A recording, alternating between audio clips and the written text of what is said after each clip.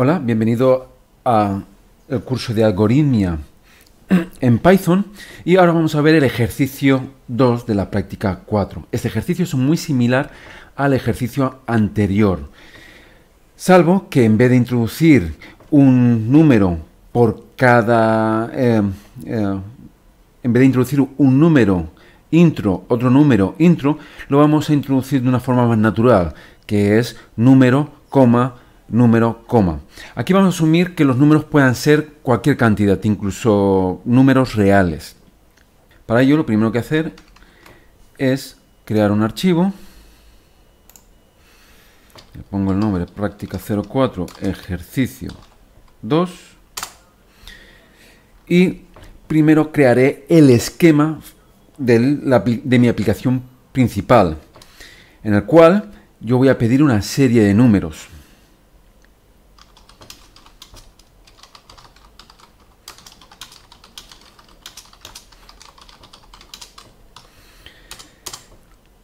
Y después esa serie de números la voy a convertir a una lista. Para ello voy a utilizar una función también.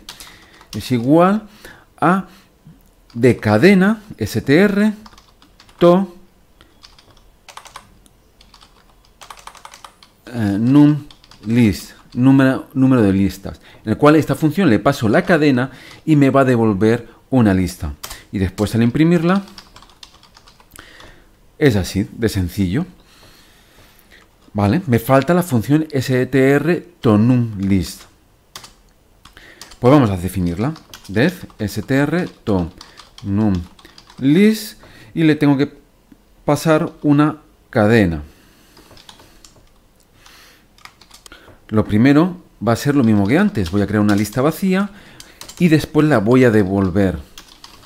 Y entre medias voy a ir añadiendo los elementos a la cadena. Pero para ello tengo que dividir la cadena en sus componentes y después recorrerlos. Para eso tenemos un método de, las cadenas de caracteres que se llama split. Con eso puedo dividir una cadena en un, una lista de cadenas separados por el elemento que yo pongo en el split de la siguiente forma. Voy a recorrer cada elemento de la cadena dividido por comas con lo cual, si yo meto 1,2,24, me va a devolver una, una, una, lista con una cadena 1, con, una, con otra cadena 2 y con una cadena 24. Pero esas cadenas, pero eso son cadenas, no son números todavía.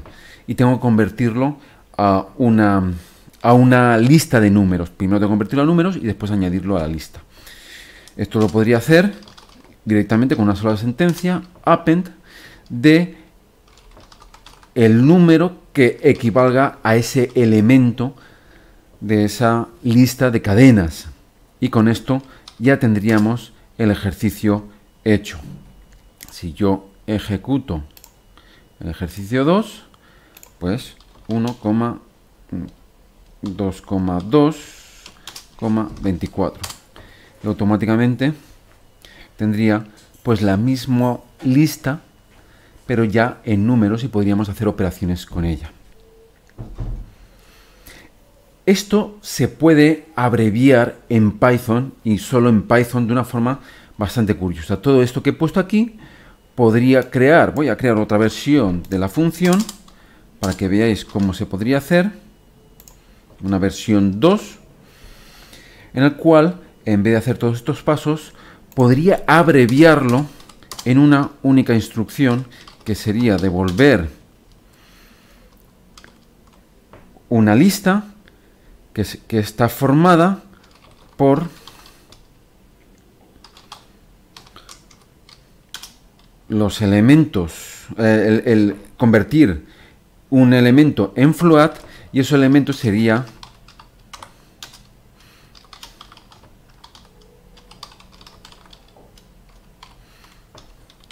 y con esto tendríamos hecha la función para convertir una cadena dividida por una coma en una lista de elementos de números reales. Muy bien, pero ¿qué pasa si introducimos valores que no son correctos? Si yo vuelvo a ejecutar y meto, por ejemplo, el 2, el AAA y el 24, vemos que AAA no es un número de coma flotante válido.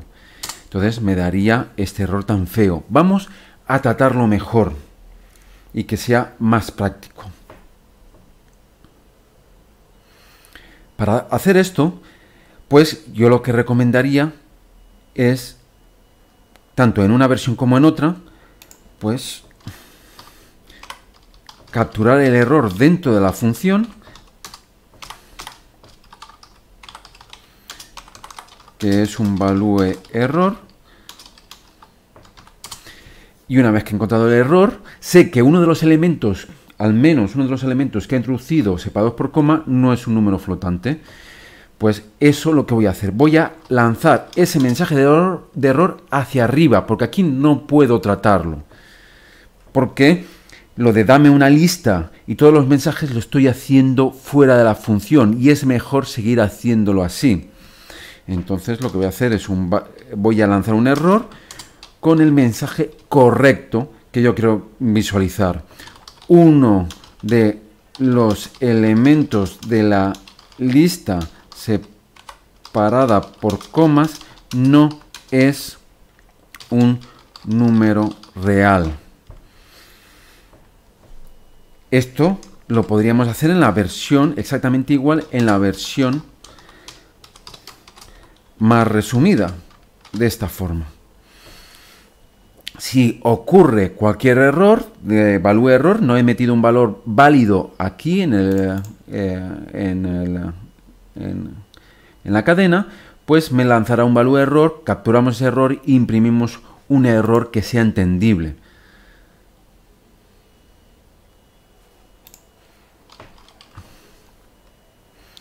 Que sea entendible.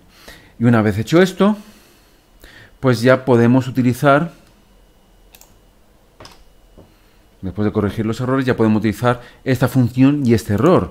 Si yo quiero tratar el error, pues podría hacer simplemente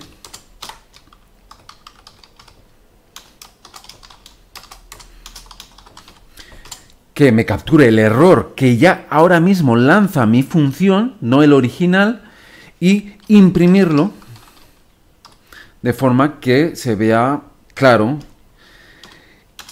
y lo haré por la salida de error, como hemos hecho antes. Lo único que me quedaría es importar de sys el objeto std error para que me imprima por la salida de error. De tal forma que cuando yo lo ejecute, si meto los valores bien, pues me dará una lista correctamente, pero si yo meto los valores mal,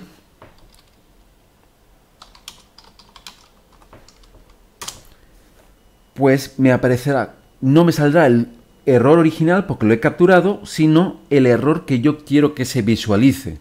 Uno de los elementos de la lista separada por comas no es un valor real.